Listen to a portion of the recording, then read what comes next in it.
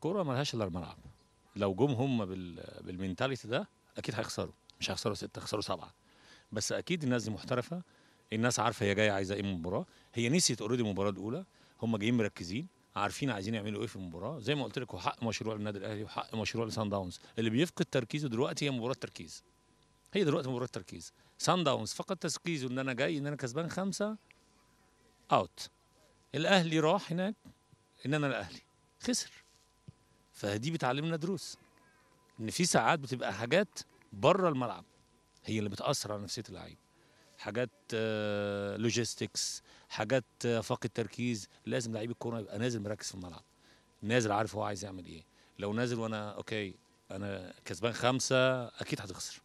فهم ناسين ال- الحاجة دي وال coach طبعا أكيد شغال عليها إنه انسوا المباراة الأولانية ده النادي الأهلي النادي الأهلي الكبير النادي الأهلي بتاع بطل أفريقيا يعني شوفوا على ال badge بتاع الأهلي 8 star أنتوا لسه عندكم 1 star فلسه لسه لسه بيتعلموا و...